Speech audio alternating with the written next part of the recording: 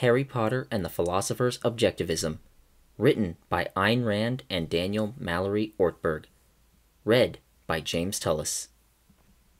You're a wizard, Harry, Hagrid said, and you're coming to Hogwarts. What's Hogwarts? Harry asked. It's a wizard school. It's not a public school, is it? No, it's privately run. Good, then I accept. Children are not the property of the state. Everyone who wishes to do so has the right to offer educational goods or services at a fair market rate. Let us leave at once. Malfoy bought the whole team brand new Nimbus clean sweeps, Ron said, like a poor person. That's not fair.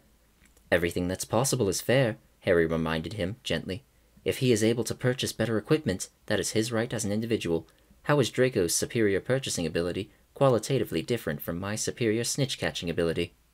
I guess it isn't, Ron said crossly. Harry laughed, cool and remote, like if a mountain were to laugh. Someday you'll understand, Ron.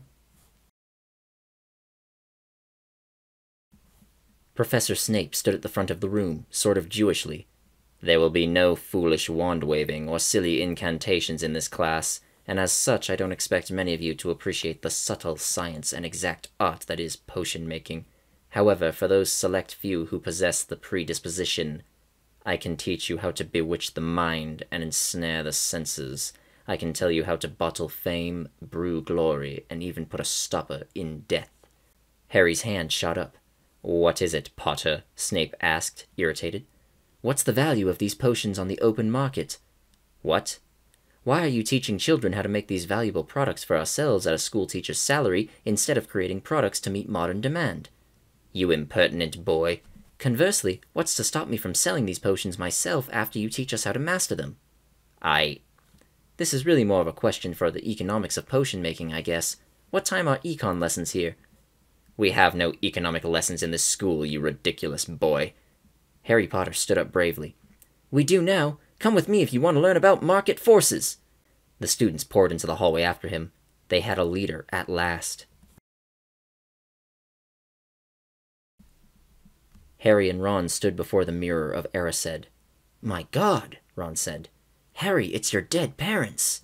Harry's eyes flicked momentarily over to the mirror. So it is. This information is neither useful nor productive. Let us leave at once, to assist Hagrid in his noble enterprise of raising as many dragon eggs as he sees fit, in spite of our country's unjust dragon trading restrictions. But it's your parents, Harry, Ron said. Ron never really got it.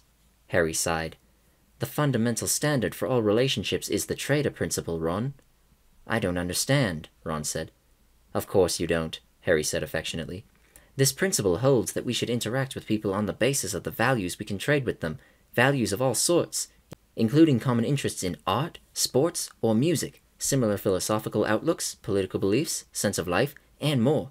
Dead people have no value according to the trader principle. But they gave birth to you. I made myself, Ron, Harry said firmly.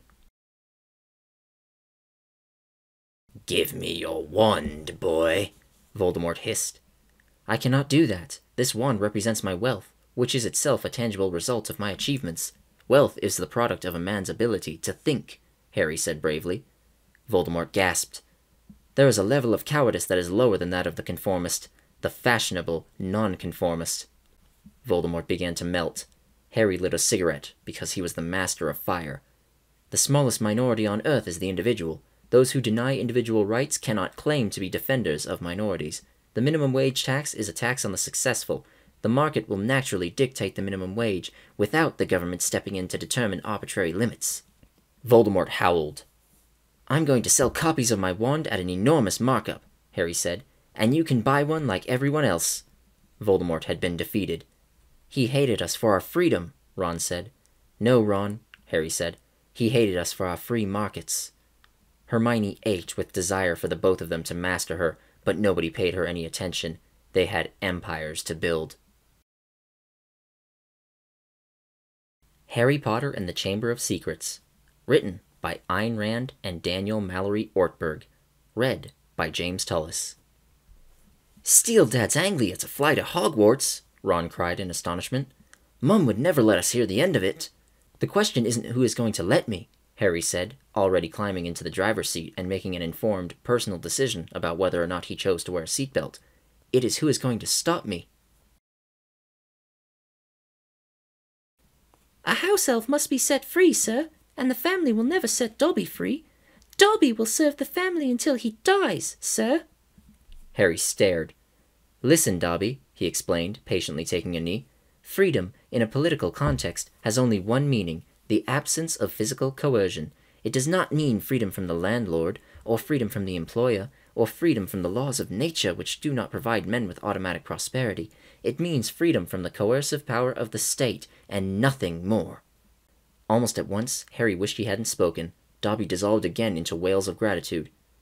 Harry Potter is too good to Dobby, sir. Listen, Harry continued briskly, because I'm only going to explain this once. I'm late for Model UN Club, which I'm protesting as fascism disguised as cooperation this afternoon. Knowledge, thinking, and rational action are properties of the what, Dobby? The the individual, sir, Dobby whimpered. That's right, Dobby. And since the choice to exercise his rational faculty or not depends on the individual, man's survival requires that those who think be free of. The interference of those who don't, sir? Dobby asked hopefully. Exactly, said Harry.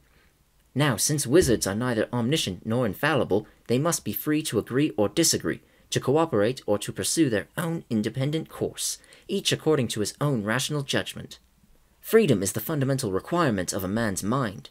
A rational mind does not work under compulsion. It does not subordinate its grasp of reality to anyone's orders, directives, or controls. It does not sacrifice its knowledge, its view of the truth, to anyone's opinions, threats, wishes, plans, or welfare. Such a mind may be hampered by others. It may be silenced, prescribed, imprisoned, or destroyed. It cannot be forced, which means. Harry prompted. Which means a wand is not an argument, sir, cried Dobby in amazement. You have been free this whole time, Harry said. Have a fiver. Dobby's eyes glinted with the fire of an individual who has come to appreciate the value of money. I heard he's the heir of Slytherin, one of the girls whispered as Harry walked by. He stopped in the loose, effortless manner of a man who is at home in his own body. Excuse me, Harry said coolly. Only the man who does not need it is fit to inherit wealth. The man who would make his fortune no matter where he started. If an heir is equal to his money, it serves him. If not, it destroys him. He held his head in the manner of one who takes his beauty for granted, but knows that others do not. Yes, yes, I know what you're thinking. It's all right for him. He's an internationally famous wizard already. But when I was twelve, I was just as much of a nobody as you are now. In fact, I'd say I was even more of a nobody. I mean, a few people have heard of you, haven't they? All that business with he who must not be named. He glanced at the lightning scar on Harry's forehead. I know, I know. It's not quite as good as winning Witch Weekly's Most Charming Smile Award five times in a row, as I have, but it's a start, Harry. It's a start. A creative man is motivated by the desire to achieve, not by the desire to beat others, Harry said from a Davenport in the corner, half lying sprawled limply like a kitten. It had often astonished Lockhart. He had seen Potter moving with the soundless tension, the control, the precision of a cat. He had seen him relaxed, like a cat, in shapeless ease, as if his body held no single solid bone. People think that a liar gains victory over his victim, Harry continued. What I've learned is that a lie is an act of self abdication, because one surrenders one's reality to the person to one whom lies, making that person one's master, condemning oneself from then on to faking the sort of reality that person's view requires to be faked. The man who lies to the world is the world's slave from then on. There are no white lies, there is only the blackest of destruction, and a white lie is the blackest of all. I. Gilderoy began. You have no I, Harry said abruptly, and chose to leave. You barely exist. You see, that's what I admire about you, Harry. You always know. Drop the compliments, Hermione. But I mean it. How do you always manage to decide? How can you let others decide for you? But you see, I'm not sure, Harry. I'm never sure. I'm never sure of myself. I don't know whether I'm as good as they all tell me I am. I wouldn't admit that to anyone but you. I think that's because you're always so sure that I. I didn't know it before, but it's because I've never believed in God. Come on, talk sense. Hermione twisted the emerald cuff on her thin wrist. Because I love this earth. That's all I love. I don't like the shape of things on this earth. I want to change them. For whom? For myself. Kiss me, you fool! Hermione cried. Harry did, efficiently. You don't have to applaud, he said. I don't expect it. In a capitalist system, Dobby began, falteringly. He shot a look of unswerving devotion to Harry. Harry was used to such looks, as a man who behaved as he wished and not as others did. And according to the dictates of the market, Harry prompted. And according to the dictates of the market, Dobby continued, drawing himself up to his full two feet three inches and jabbing Mr. Malfoy directly in the shins. Dobby is already an independent agent and may offer his services at whatever price he deems fit to whatever consumer wishes to procure them. Dobby is a free elf under capitalism. Mr. Malfoy's jaw gaped open, like the mystic and irrationalist that he was. It was funny, Draco remembered. At one time he had wanted to be an artist. It was his mother who had chosen a better field in which to exercise his talent for drawing. Wizardry, she had said, is such a respectable profession. Besides, you meet the best people in it. She had pushed him into his career. He had never known when or how. It was funny, thought Draco. He had not remembered that youthful ambition of his for years. It's funny that it should hurt him now, to remember, well, this was the night to remember it, and to forget it forever. Wizards, he thought, always made brilliant careers, and once on top, did they ever fail? Suddenly he recalled Henry Cameron, caster of great spells twenty years ago, old drunkard with offices on some waterfront today. Draco shuddered. Dobby is an end unto himself, the elf chuckled as he capered down the hallway. Dobby is dedicated to his own values. Cheer up, Harry said to Draco. Have a fiver. Harry Potter and the Prisoners of Collectivism. Written by Ayn Rand and Daniel Mallory Ortberg. Read by James Tullos. What was there to be gained by fighting the most evil wizard who has ever existed? said Black with a terrible fury in his face. Only innocent lives, Peter. You don't understand, whined Pettigrew. He would have killed me, Sirius. Then you should have died, roared Black. Died rather than betray your friends, as we would have done for you. Actually, said Harry, pocketing his e-cigarette, Peter's pursuit of rational self-interest is of a higher moral order than your determination to kill yourself on another person's behalf, Sirius. Self-sacrifice is never the answer. It only ends in pain and death. Sirius blanched. But Voldemort! We could have stopped Voldemort! It's a free market, Harry said, shrugging. Lupin turned into a wolf. Control yourself, Harry said. Good lord, man, you're a being of pure will and drive. Exercise it. Lupin turned back into a man with flashing clear eyes and a jaw that could level a mid-sized office building. In the marketplace of ideas, Harry went on, Voldemort has the same right to disseminate his philosophy as you do. If his philosophy is sound, it will flourish. If his philosophy is unsound, you have nothing to fear. Peter opened his mouth to speak. See, this is why I don't vote, Harry continued. He knelt and drew a circle in the dirt. Let's say this circle here represents my own self-interest. I think we can all agree that my existence here is interchangeable with my identity. He laughed. It sounded like a cool mountain stream. Now let's say this circle over here represents Peter, a rational self-actor. But Aunt Marge suddenly stopped speaking. For a moment it looked as though words had failed her. She seemed to be swelling with inexpressible anger, but the swelling didn't stop. Her great red face started to expand, her tiny eyes bulged, and her mouth stretched too tightly for speech. Next second, several buttons had burst from her tweed jacket and pinged off the walls. She was inflating like a monstrous balloon. A reckless rage had come over Harry. He kicked his trunk open, pulled out his wand, and pointed it at Uncle Vernon. She deserved it, Harry said, with a preternational calmness. Make no mistake, this was an essentially generous act. To have allowed her to continue to insult me would have been an act of self-genocide. She deserved what she got. You keep away from me. He fumbled behind him for the latch on the door. I'm going, Harry said. I want to be an architect. Uncle Vernon was purple with fury, but said nothing. I'm going to build a building so tall you'll break your neck if you try to make eye contact with me, Harry said, and then he was gone. I want to commit the murder I was imprisoned for, Black growled. Well, everyone must do what he thinks is best, Harry said without looking up from his wizarding economics essay. I think Peter is under Hermione's bed, luck and so on. Thanks. It may interest you to know that I object to prisons, morally, Harry said, so let that comfort you while you're on the run again. I've always been unpopular in school and it didn't bother me, Hermione explained. But now I've discovered the reason. It's an impossible kind of reason. They dislike me, not because I do things badly, but because I do them well. They dislike me because I've always had the best grades in class. I don't even have to study. I always get top marks. Do you suppose I could try to get poor marks for a change and become the most popular girl in school? Never let the failure of others induce you to achieve less, Harry said. Agreed, Hermione said, her eyes flashing like diamonds, which she was also wearing. As equals, I suggest we maximize our achievement by making out now. Before Harry could answer, Cho Chang entered the room. Harry, she cried, I wish to offer myself to you in recognition of your victory in today's Quidditch match. Frankly, I would like to make out with both of you, Harry said. I believe it would be efficient and would also maximize my enjoyment.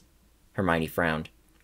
Never get angry with a man for speaking the truth, Harry reminded her. Hermione smiled. Believing in yourself is a sort of prayer, Harry said. Hermione, you may make out with me first. He felt the unnatural cold begin to steal over the street. Light was sucked from the environment right up to the stars, which vanished. The cold was biting deeper and deeper into Harry's flesh. Then around the corner, gliding noiselessly, came Dementors. Ten or more of them, visible because they were of a denser darkness than their surroundings, with their black cloaks and their scabbed, rotting hands. Could they sense fear in the vicinity? Harry was sure of it. They seemed to be coming more quickly now, taking those dragging, rattling breaths he detested, tasting despair on the air, closing in. Suddenly he heard them. Marxists. No, he whispered, sinking to his knees. When they get near you, he remembered Lupin saying, you will be left with only the worst memories of your life. Only together, collectively, can we achieve anything of lasting significance, he heard one of them say. Harry moaned in pain. The fortunate owe to society to contribute to those who cannot work, another chanted. Harry closed his eyes and collapsed. A strong central government, began a third. This was too much for Harry. He rose painfully to his knees and screamed, Expecto Patronum! A shining white dollar flew out of his wand. I am the strongest force there is, it shouted. I am an objective measurement of the good. I cannot be diminished or compromised.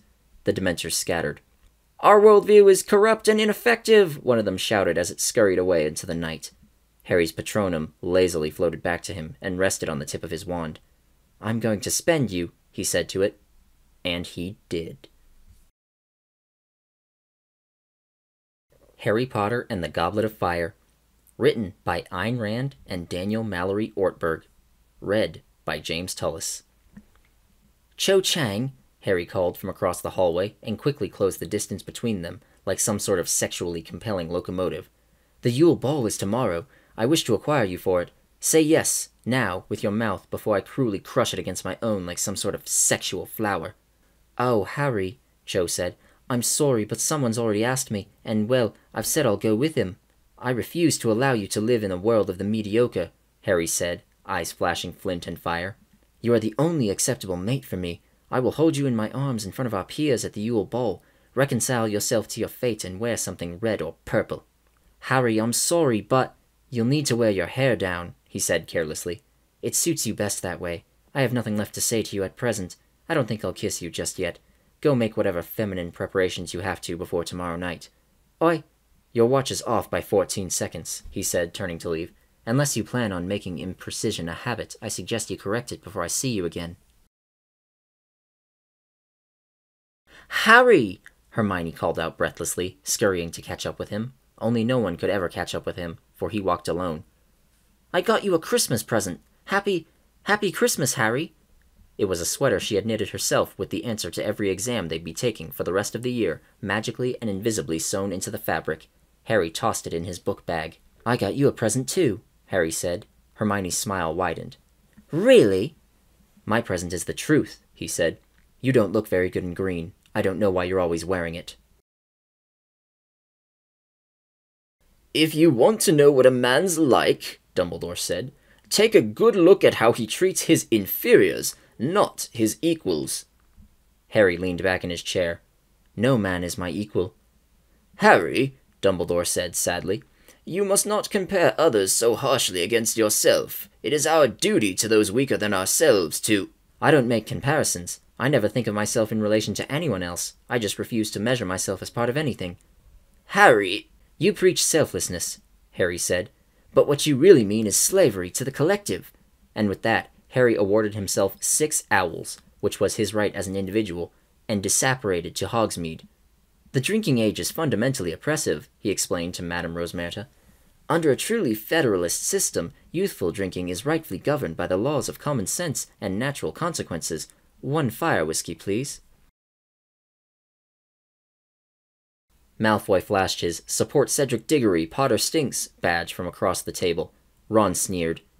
Cedric Diggory, he said, thinks he's so great. He's not so great. Jealousy is a quality of the womanish and the poor, Harry said without malice, finishing a simple dish of plums. I suggest you free yourself from it. The mer people brandished their spears fiercely. Harry looked around. Ron, Hermione, and Gabrielle Delacour drifted lazily through the water, arms bound uselessly behind their backs. Where was Fleur? And where was Krum? Harry turned to face the mer people. The true test is not whether a Triwizard champion can perform an act of charity, an act of mercy. Whether I am capable of saving these victims, these leeches, these children, I can assure you. The question is whether I can do without them, whether I can exist solely as my own entity, whether I can perform an act of accomplishment.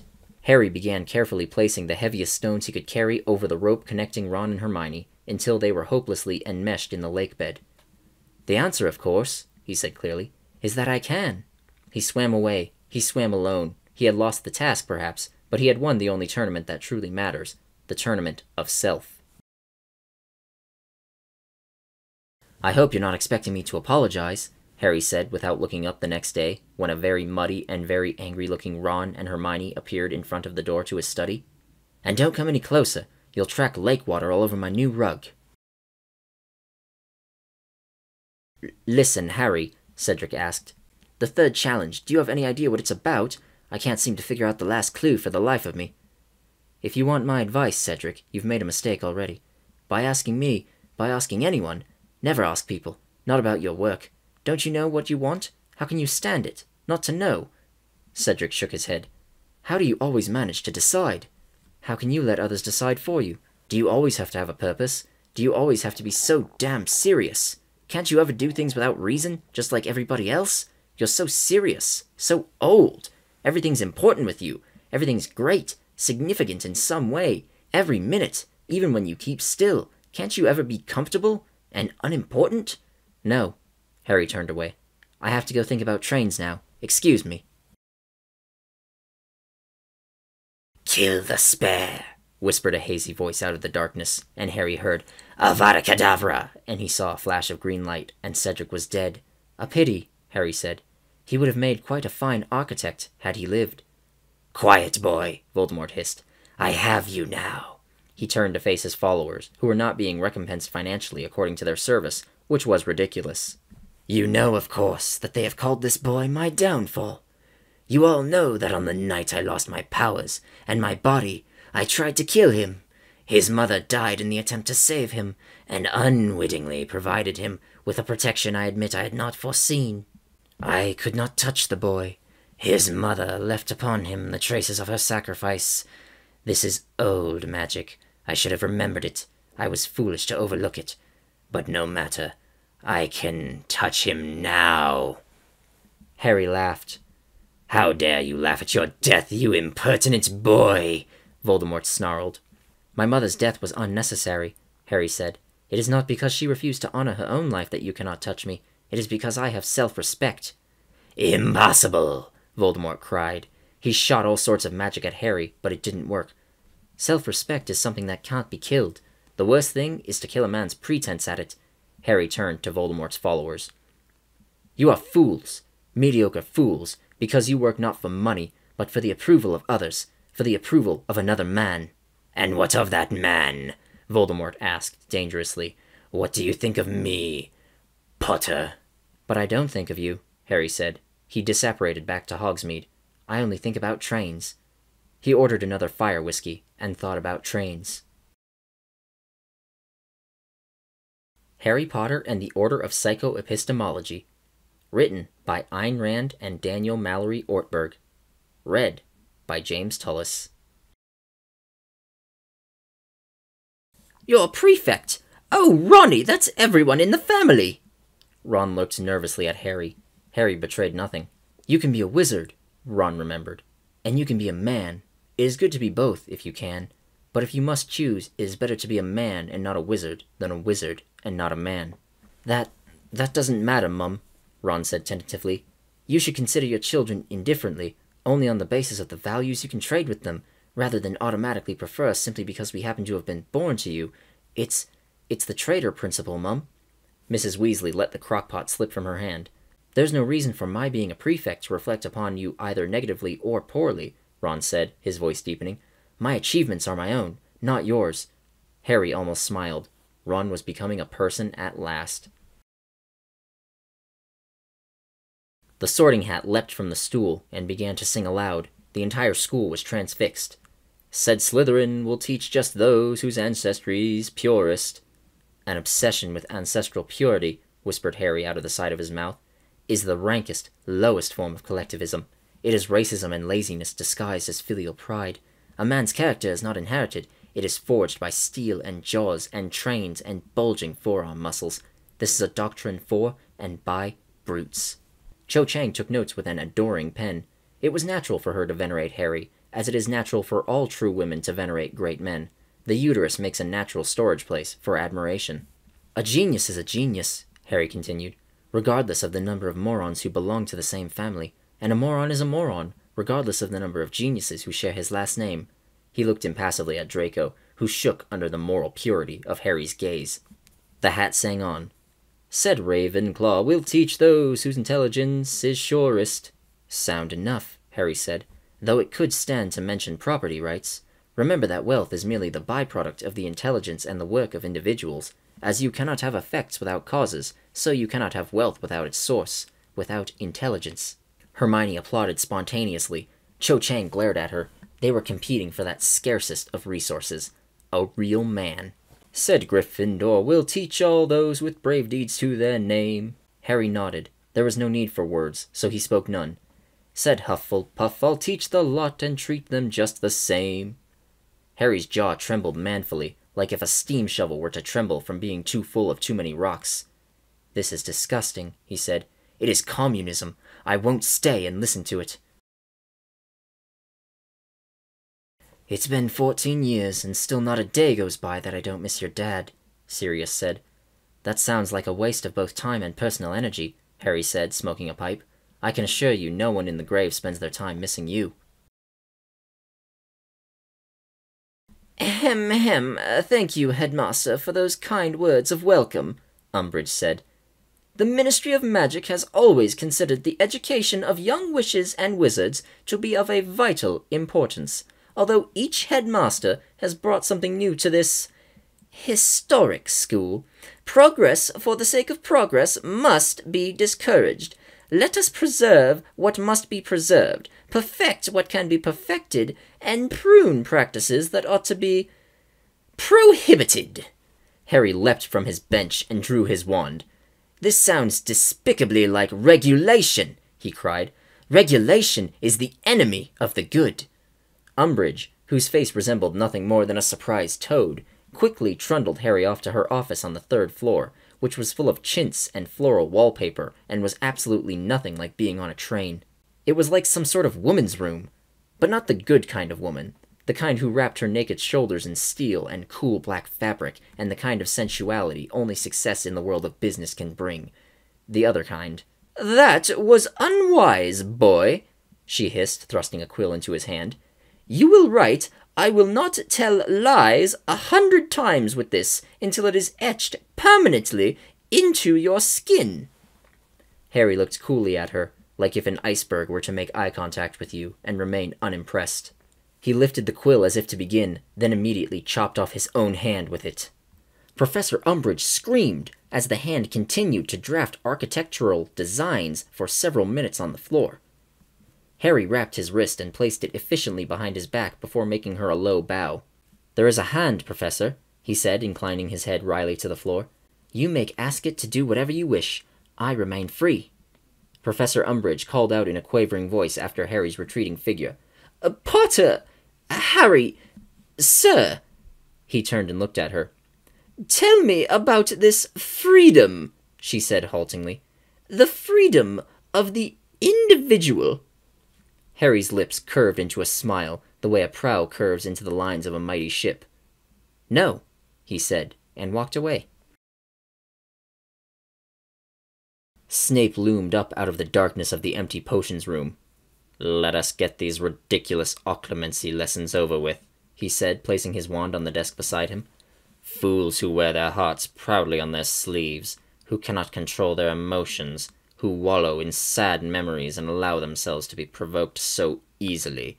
Weak people, in other words, are of little value on the open market, Harry finished for him. I quite agree. Snape looked at him with something strange brimming in his eyes. I believe I'm going to respect you after all, Potter, he said.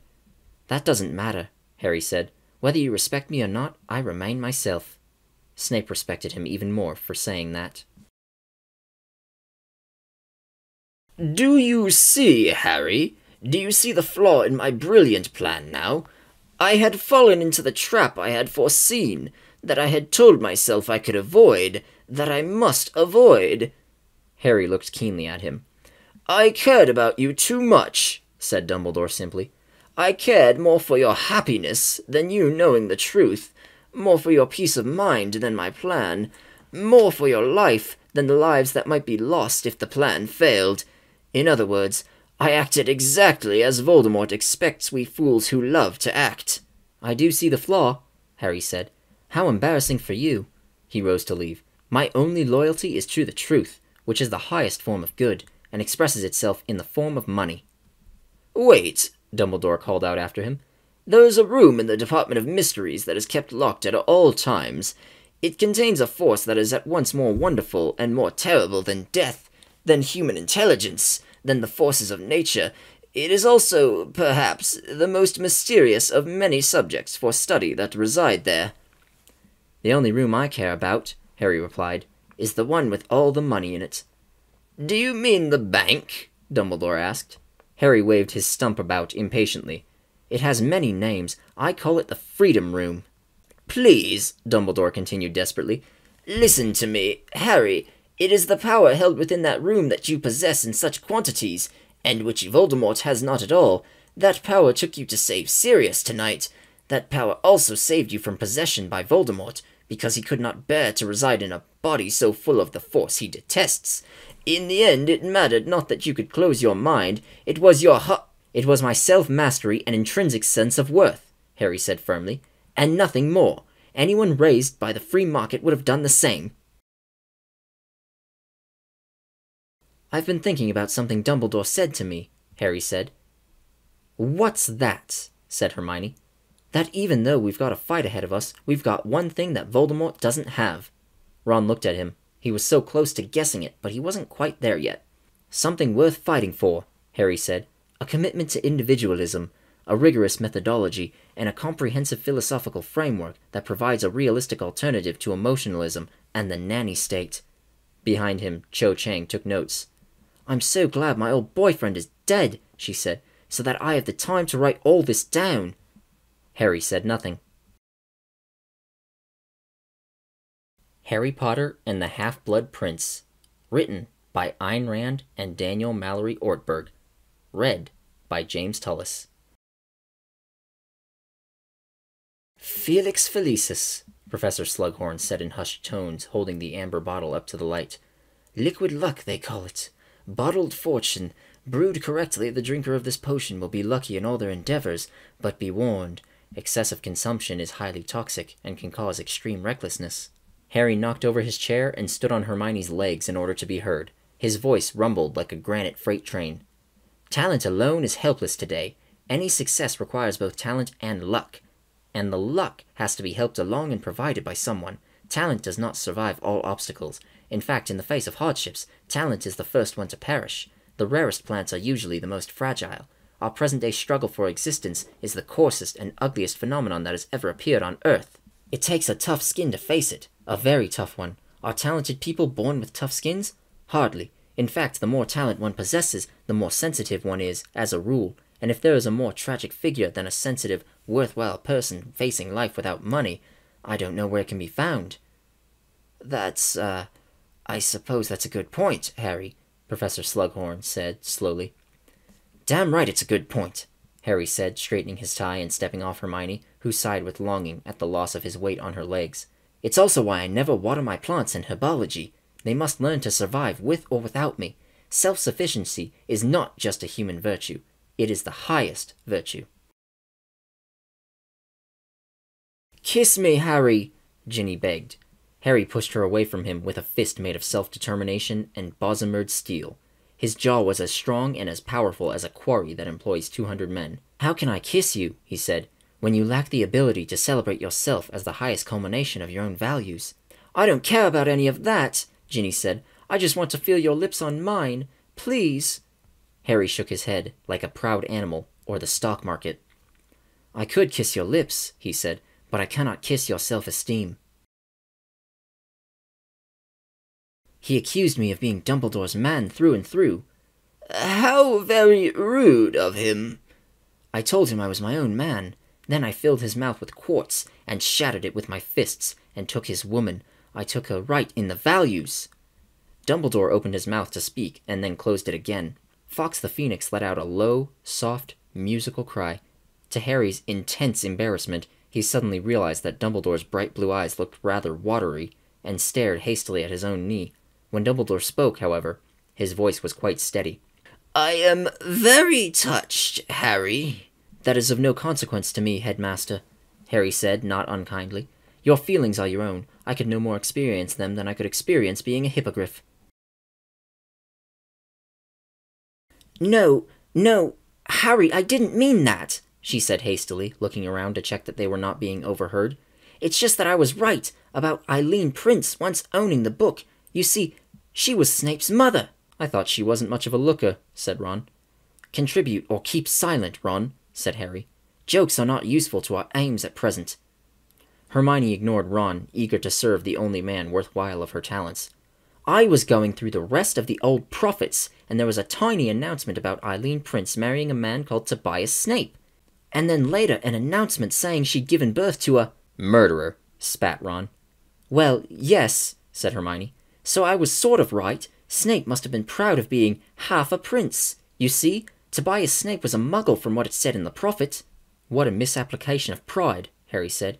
Racism is the lowest, most crudely primitive form of collectivism. It is the notion of ascribing moral, social, or political significance to a man's genetic lineage, the notion that a man's intellectual and characterological traits are produced and transmitted by his internal body chemistry, which means in practice, that a man is to be judged not by his own character and actions, but by the characters and actions of a collective of ancestors. The theory that holds good blood and bad blood as a moral intellectual criterion can lead to nothing but torrents of blood in practice.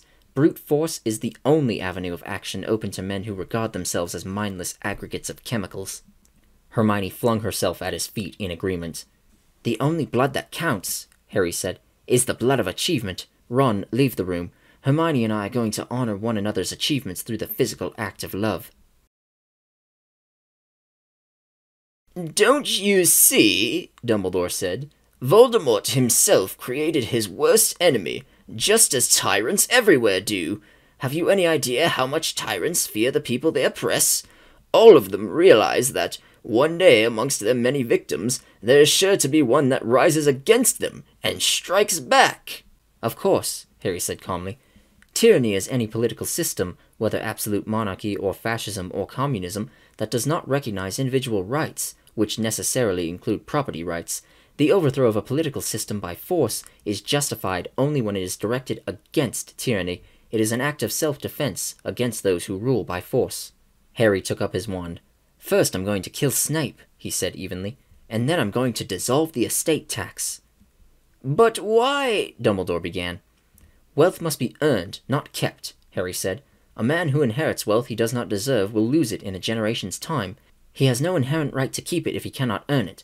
But it does not then stand that the government has a stronger right to it.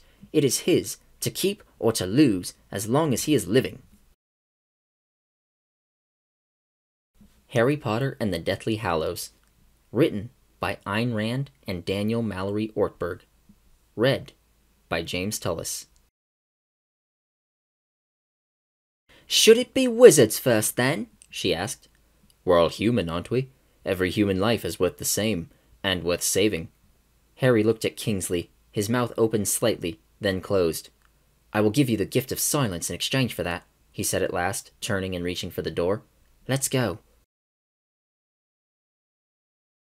While you can still call home the place where your mother's blood dwells, Dumbledore said, there you cannot be touched or harmed by Voldemort. He shed her blood, but it lives on in you and her sister.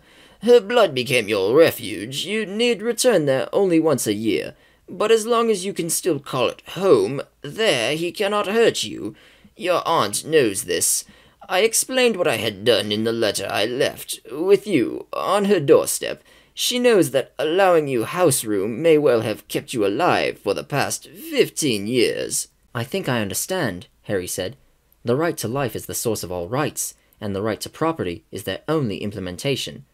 Dumbledore smiled. Which means. Which means that without property rights, Harry exclaimed triumphantly, no other rights are possible. The Ministry of Magic has fallen, Neville said in despair.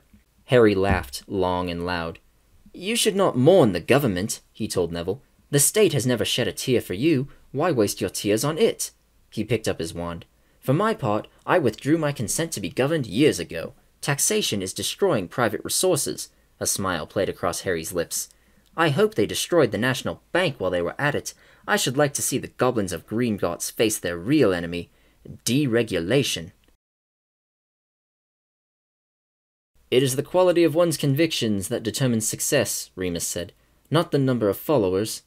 In other words, Harry said, failure is triumph, up is down, white is black, and wrong is right. Success determines success, Remus, and only a failure would suggest otherwise. If Voldemort kills us all tomorrow, no one will build a monument to our successful convictions. Here lies Dobby, the stone read. A free elf. Underneath, in slightly smaller letters, it continued. What is the basic, the essential, the crucial principle that differentiates freedom from slavery? It is the principle of voluntary action versus physical coercion or compulsion. Freedom, in a political context, has only one meaning the absence of physical coercion. It does not mean freedom from the landlord, or freedom from the employer, or freedom from the laws of nature, which do not provide men with automatic prosperity. It means freedom from the coercive power of the state, and nothing else. If one upholds freedom, one must uphold man's individual rights. If one upholds man's individual rights, one must uphold his right to his own life, to his own liberty, to the pursuit of his own happiness. Which means one must uphold a political system that guarantees and protects these rights. Which means the political economic system of capitalism. Intellectual freedom cannot exist without political freedom. Political freedom cannot exist without economic freedom. A free mind and a free market are corollaries since knowledge, thinking, and rational action are properties of the individual, since the choice to exercise his rational faculty or not depends on the individual, man's survival requires that those who think be free of the interference of those who don't. Since men are neither omniscient nor infallible, they must be free to agree or disagree, to cooperate, or to pursue their own independent course, each according to his own rational judgment. Freedom is the fundamental requirement of man's mind. A rational mind does not work under compulsion. It does not subordinate its grasp of reality to anyone's orders, directives, or controls. It does not sacrifice its knowledge, its view of the truth, to anyone's opinions, threats, wishes, plans, or welfare. Such a mind may be hampered by others, it may be silenced, prescribed, imprisoned, or destroyed. It cannot be forced.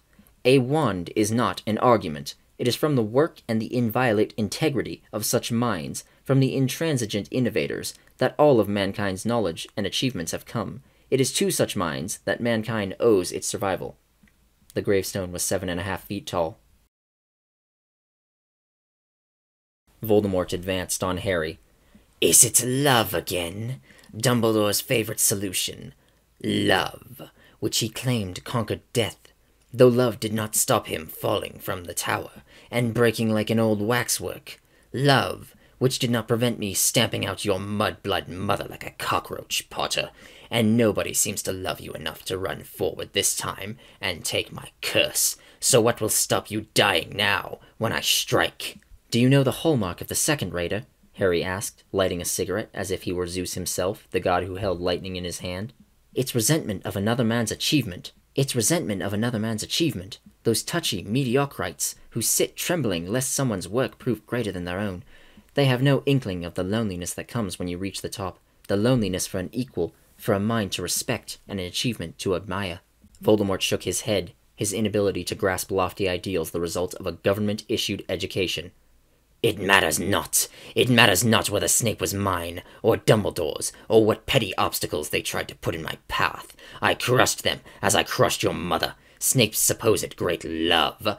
Oh, but it all makes sense, Potter, and in ways that you do not understand. Dumbledore was trying to keep the Elder Wand from me. He intended that Snape should be the true master of the wand, but I got there ahead of you, little boy. I reached the wand before you could get your hands upon it. I understood the truth before you caught up. I killed Severus Snape three hours ago, and the Elder Wand, the Death Stick, the Wand of Destiny, is truly mine. What an interesting misunderstanding of property rights, Harry said mildly, flicking his cigarette in the direction of the Dark Lord. They are no guarantee that a man will earn any property, but only a guarantee that he will own it if he earns it. I have earned the Elder Wand through my own achievements, Harry continued. I create wealth, you merely attempt to loot it from others.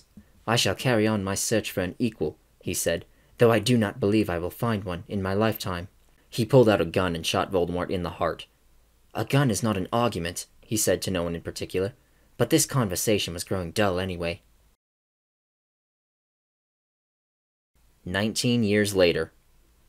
I'm taking the children down to the platform nine and three quarters to see them off to school, Ginny said to Harry. Want to come? I build trains, Harry said, adjusting his hat so that the brim sat low over one eye. I don't watch children board them. Ginny respected him for it. This has been a reading of Ayn Rand Writes Harry Potter, written by Ayn Rand and Daniel Mallory Ortberg, read by James Tullos.